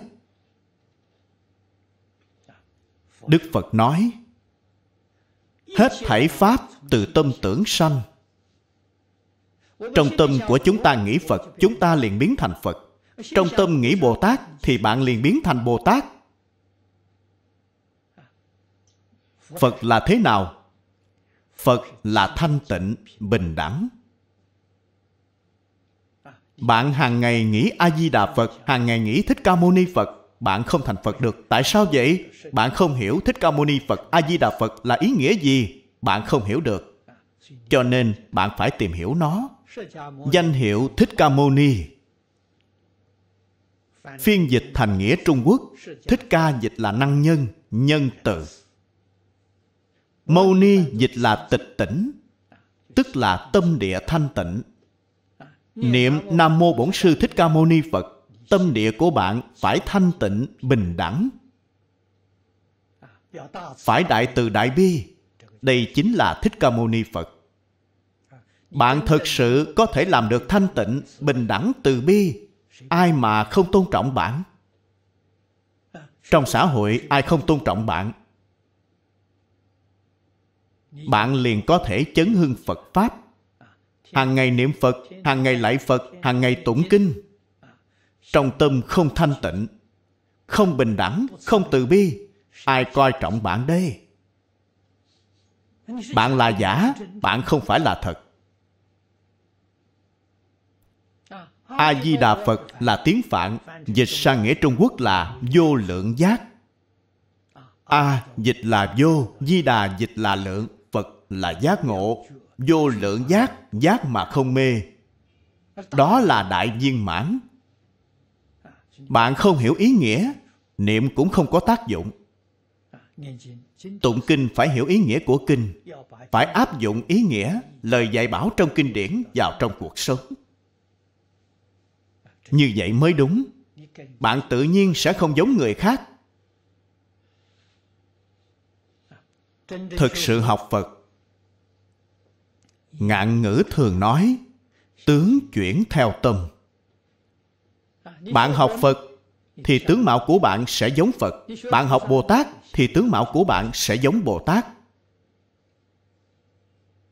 Học bao nhiêu năm, tướng mạo không thay đổi chút nào. Bạn là giả, không phải là thật. Nói cạn hơn một chút. Nếu những năm này bạn học thực sự từ bi thì tướng mạo của bạn sẽ đôn hậu. Mọi người vừa nhìn liền biết. Người thiện thì tướng mạo họ thiện, người ác thì tướng mạo ác. Tướng chuyển theo tâm. Không thể không biết điều này. Thể chất cơ thể thể chất cũng chuyển theo tâm. Tâm của bạn thanh tịnh, cơ thể không bị bệnh bệnh từ đâu tới? Từ ô nhiễm tới. Tham sân si mạng là ô nhiễm. Bạn nhổ hết tham sân si mạng, tâm địa chân thành, thanh tịnh, bình đẳng, thì bạn làm sao bị bệnh được? Thân thể khỏe mạnh, sống lâu, đôn hậu. Người thế gian nhìn thấy người học phật thì sanh tâm quan hỷ. Họ sẽ học theo bạn.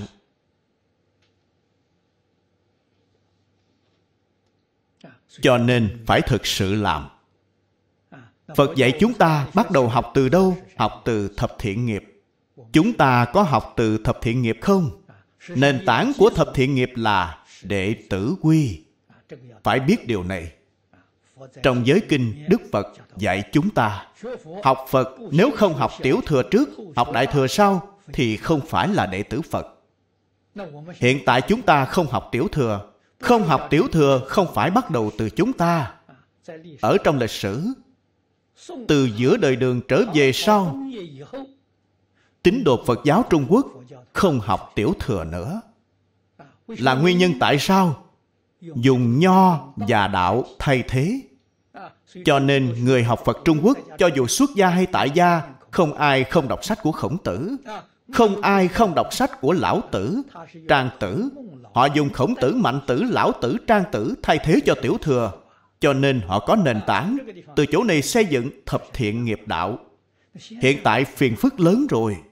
Hiện tại không cần tiểu thừa nữa, cũng không cần nho nữa. Trực tiếp học đại thừa, học cả đời, không làm được thập thiện.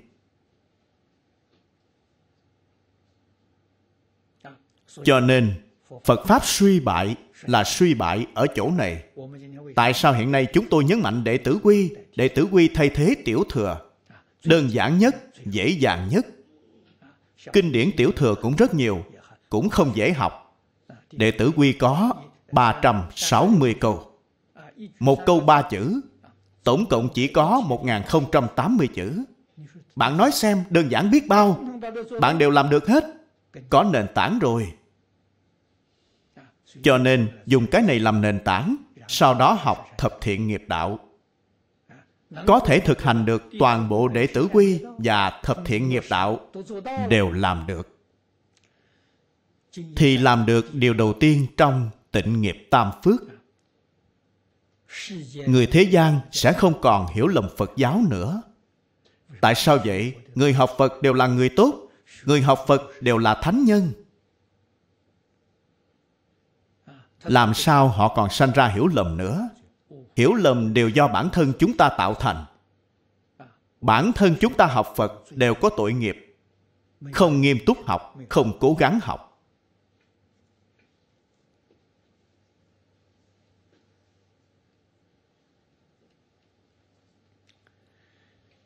Xin hỏi lão pháp sư, trước đây điều kiện kinh tế của chúng con không tốt từng giai tiền của một người lớn tuổi.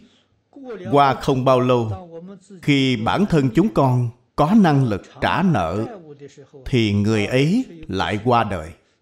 Trong tâm của con vẫn luôn áy náy. Nên làm như thế nào? Làm công đức thay cho họ. Hồi hướng cho họ. Trong làm công đức, việc tốt hàng đầu tức là việc tuyệt đối không có sai lầm.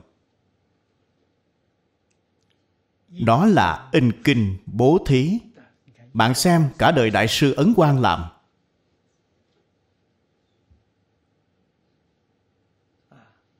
In kinh hiện tại các bạn biết được. In đệ tử quy, in thập thiện nghiệp đạo là tốt nhất. Tại sao vậy? Đây là gốc rễ đệ tử quy là gốc rễ của nhà nho. Thập thiện nghiệp đạo là gốc rễ của nhà phật, là giáo dục căn bản. Còn có một phương pháp, in đĩa lưu hành cũng tốt. Đĩa liễu phạm tứ huấn. Gần đây, tôi thấy đĩa du tịnh ý cũng rất hay. Du tịnh ý hình như chỉ có sáu tập sáu tập, đại khái là khoảng sáu đĩa. Lưu hành số lượng lớn. Chuyện này đối với người, đó là sự cống hiến rất lớn. Giúp họ làm việc tốt, hồi hướng công đức này cho họ.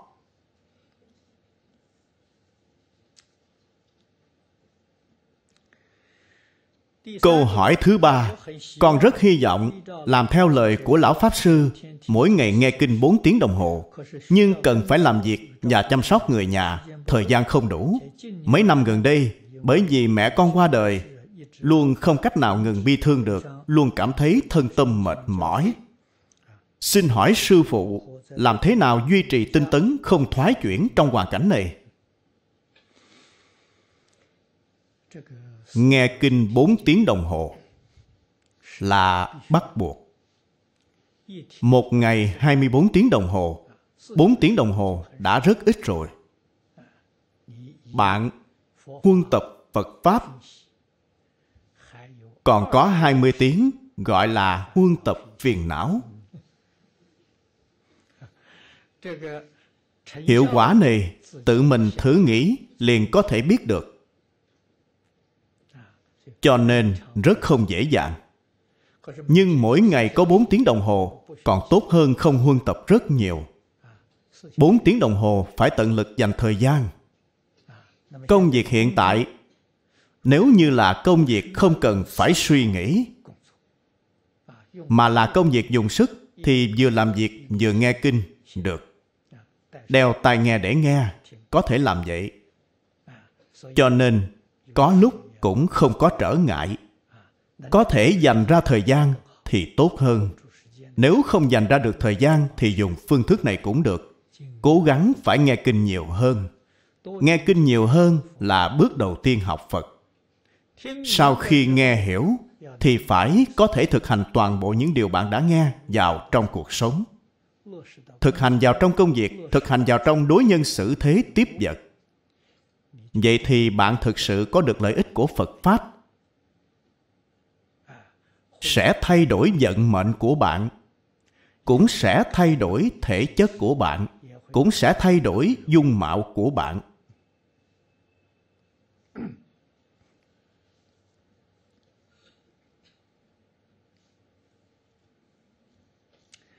Câu hỏi thứ tư, Lão Pháp Sư khích lệ chúng con học thuộc 100 bài cổ văn quán chỉ. Nhưng nguyên đạo của hàng vũ là văn chương nghiêm khắc, phê bình Phật giáo. Tại sao chúng con vẫn phải học thuộc? Học thuộc 100 chương cổ văn bạn phải hiểu được mục đích ở đâu. 300 bài cổ văn quán chỉ bảo bạn học thuộc 100 bài tại sao bạn lại cứ phải chọn nguyên đạo của hàng vũ có thể không cần chọn nó. Nếu chọn thì bạn cũng không cần hoài nghi. Mục đích học thuộc cổ văn là quen thuộc văn ngôn văn. Nâng cao năng lực, tu dưỡng của bạn đối với ngữ văn. Ý nghĩa là ở chỗ này. Một trăm chương cổ văn là chiếc chìa khóa của văn ngôn văn Trung Quốc. Bạn có chiếc chìa khóa này, bạn đọc Đại Tạng Kinh sẽ không có vấn đề. Bởi vì Tạng Kinh là viết bằng văn ngôn văn. Bạn xem tứ khố toàn thư cũng không có vấn đề. Tức là bạn có khả năng đọc sách cổ của Trung Quốc. Bạn đã nắm được chìa khóa này. Mục đích là ở chỗ này, không phải chi khác. Cho nên nó là công cụ mà trước đây thầy của chúng tôi dạy chúng tôi. Đọc thuộc 50 bài thì có thể đọc được văn ngôn văn. Đọc thuộc 100 bài thì có thể viết được văn ngôn văn. Cho nên, chúng ta là nâng cao năng lực học tập của chính mình. Dụng ý là ở chỗ này. Không phải là thưởng thức văn chương của họ, học sáng tác văn chương vậy thì sai rồi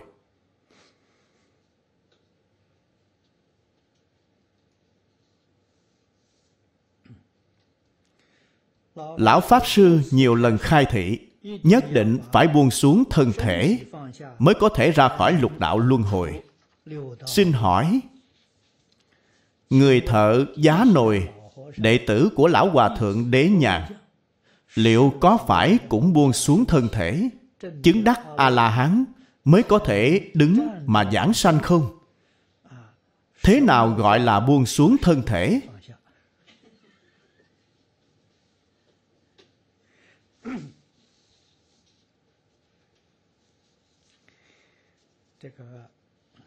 Buông xuống. Là buông xuống chấp trước. Buông xuống phân biệt. Buông xuống vọng tưởng. Không phải là buông xuống tất cả mọi việc. Việc đều buông xuống. Vậy thích ca mâu ni phật thành phật rồi. Thì không cần đến thế gian này. 49 năm để giáo hóa chúng sanh nữa. Vậy thì ngày ấy hà tất phải làm vậy? Tại sao ngày ấy không buông xuống? Phải hiểu đạo lý này. Phật dạy chúng ta buông xuống. Là buông xuống vọng tưởng phân biệt chấp trước. Là buông xuống từ trong tâm. Tuyệt đối không phải buông xuống từ trên sự. Rất nhiều người sanh ra hiểu lầm ở chỗ này. Phải buông xuống, công việc cũng không cần nữa. Xin nghỉ việc. Nhà cũng không cần nữa chuyện này khiến xã hội đại chúng sanh ra hiểu lầm.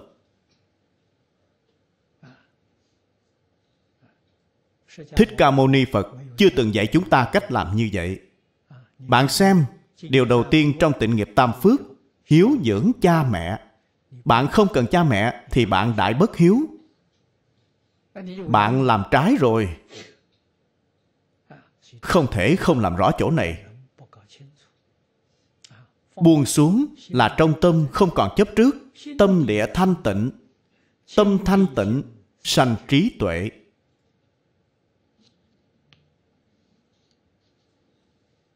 Tâm vọng tưởng, sanh phiền não. Bảo chúng ta, trong cuộc sống, công việc, đối nhân xử thế tiếp vật, mọi thứ đều làm vô cùng viên mãn nhưng trong tâm không có chấp trước.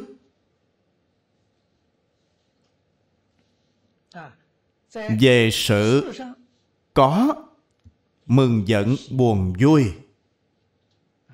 Giữa người với người, nếu không còn mừng giận, buồn vui, mặt bạn đơ như khúc gỗ, từ sáng đến tối đều luôn như vậy. Vậy thì cũng làm trái nhân tình. Nhưng trong lòng có cảm xúc không? Không có. Phàm phu và phật bồ tát khác nhau là ở chỗ này.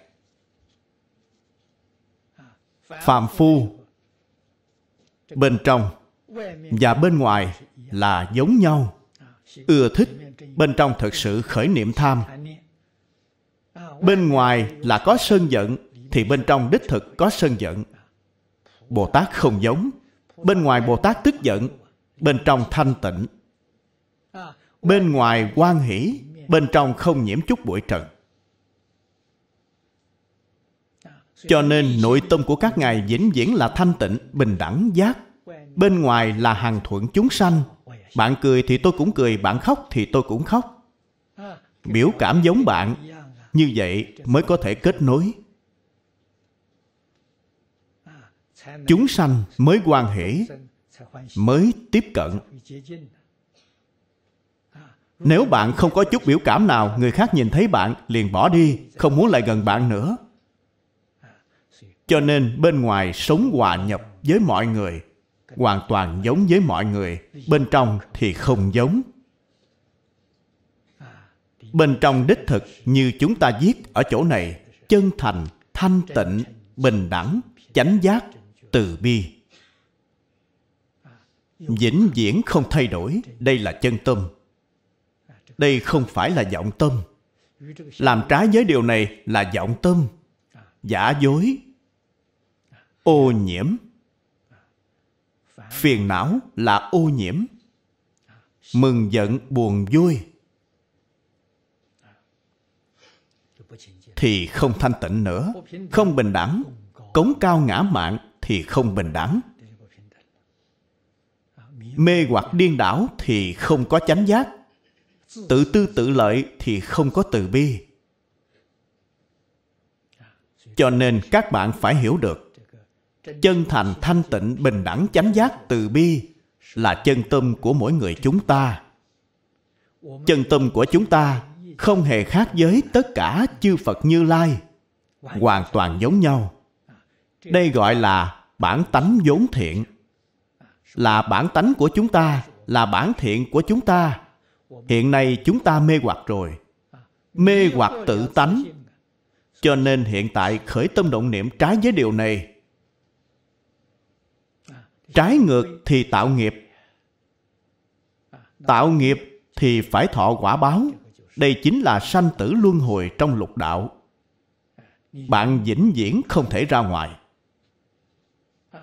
Nếu muốn ra khỏi lục đạo luân hồi chỉ có buông xuống nghiệp, không tạo nghiệp nữa. Không những ác nghiệp không được tạo, thiện nghiệp cũng không được tạo. Tại sao vậy? Bạn tạo thiện nghiệp, quả báo ở ba đường thiện. Bạn tạo ác nghiệp, quả báo ở ba đường ác đều không thoát ra được. Vậy thì phải làm thế nào? Phật dạy chúng ta tu tịnh nghiệp.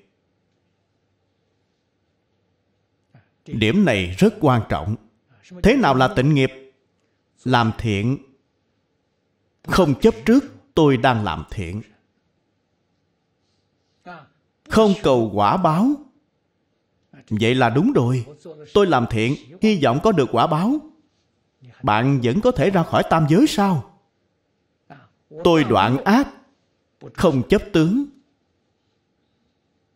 Hành thiện cũng không chấp tướng. Vĩnh viễn giữ gìn thanh tịnh bình đẳng giác của chính mình, đó gọi là tịnh nghiệp. Dùng thanh tịnh bình đẳng giác, cho dù là làm ác, làm thiện, đều thuộc về tịnh nghiệp. Các bạn phải hiểu điều này. Có lúc không làm ác, không thể cứu chúng sanh. Cứu độ chúng sanh có lúc phải dùng ác độ bạn xem phía sau Kinh Hoa Nghiêm. Thiện tài 53 tham. Có thiện, có ác. Thiện nhiều, ác ít. Bạn xem Sự ngu si.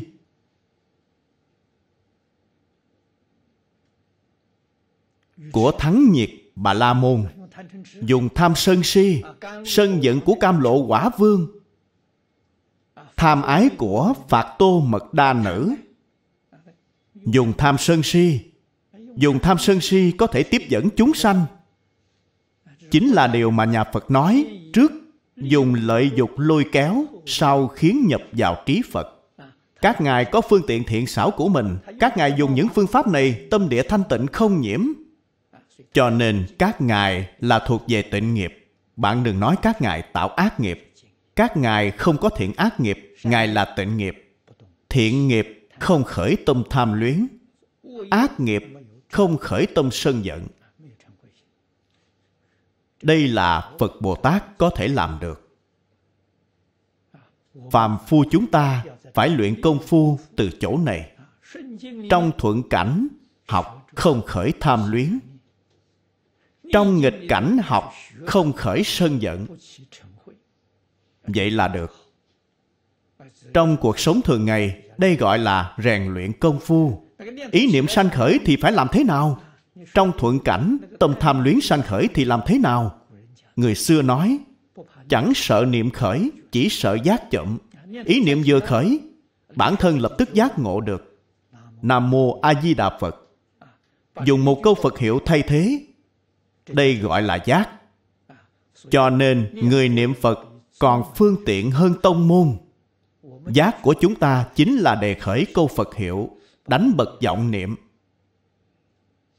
Nghịch cảnh hiện tiền, tâm sân giận sanh khởi. Nam mô a di đà phật, đánh bật tâm sân giận. Phương pháp này quá hay. Thế nào gọi là công phu thành phiến? Công phu thành phiến là công phu niệm phật đắc lực khởi tâm động niệm, bạn đều có thể dùng câu a di đà phật đè bẹp xuống. Khiến tham sân si của chính mình không đề khởi được. Tham sân si mạng, thất tình ngũ dục, chỉ cần vừa động, ý niệm thứ hai chính là a di đà phật. Toàn bộ đều hàng phục được. Đây gọi là công phu thành phiến. Có công phu này, sanh cõi phàm thánh đồng cư, không có ai không giảng sanh. Nói cách khác, bạn là người học phật, người niệm phật bạn gặp người khác vẫn còn ưa thích, còn tức giận, thì đời này bạn không có hy vọng giảng sanh. Nhất định phải biết điều này, chính là công phu của bạn không đắc lực. Bạn xem, công phu của bạn ngay cả phiền não tập khí cũng không hạ phục được. Bạn vẫn còn thường khởi hiện hành, chuyện này rất đáng sợ. Cho nên công phu của chính mình tới trình độ nào thì tự mình phải rõ ràng. Câu phật hiệu này của bạn có hàng phục được phiền não hay không? Hàng phục mới được tính, chưa hàng phục thì chưa được tính.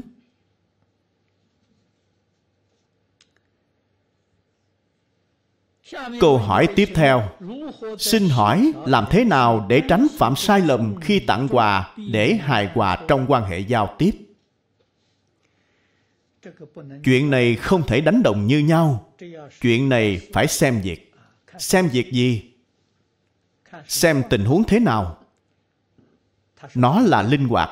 Nó không phải cứng nhắc. Hòa cáp, đặc biệt là xã hội hiện nay. Ví dụ nói phật pháp. Những pháp bảo như kinh điển. Băng ghi hình. Băng ghi âm của chúng ta lưu hành ở khắp nơi. Có một số nơi họ nghiêm cấm, không cho bạn lưu hành. Chúng ta tặng chút quà, hối lộ một chút. Họ sẽ dễ dàng cho phép tiến vào. Có được không? Được. Điều này không có lỗi lầm.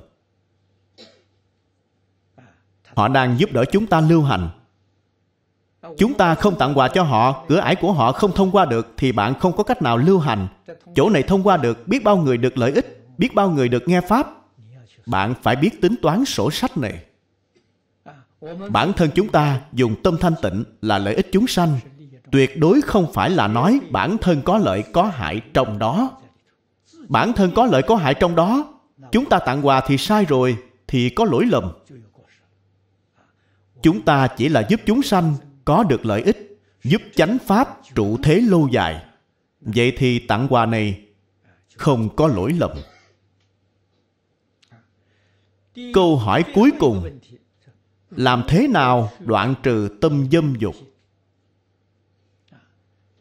Thời gian sắp hết rồi.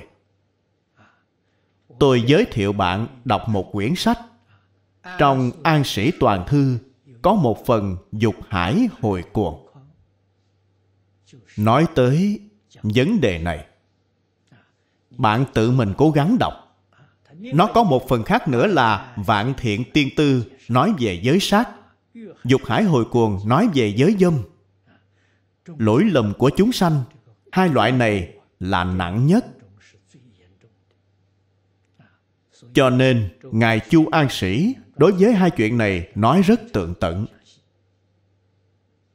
Nói vô cùng hay có lý luận. Hơn nữa, còn nêu ra rất nhiều câu chuyện thật về nghiệp nhân quả báo, cung cấp cho chúng ta tham khảo. Phải nên học tập. Hai phần này, tương lai, tôi cũng hy vọng quay thành phim nhiều tập. Chúng tôi có kế hoạch đang làm. Được rồi, hôm nay đã hết thời gian. Chúng ta nói tới đây thôi. Nguyện đem công đức này trang nghiêm phật tịnh độ. Trên đền bốn ân nặng, dưới cứu khổ ba đường. Nếu có ai thấy nghe, đều phát tâm bồ đề. Hết một báo thân này, đồng sanh cõi cực lạc. Nam mô a di đà phật. Việc dịch, ban biên dịch pháp âm tuyên lưu, diễn đọc phật tử thiện nhân.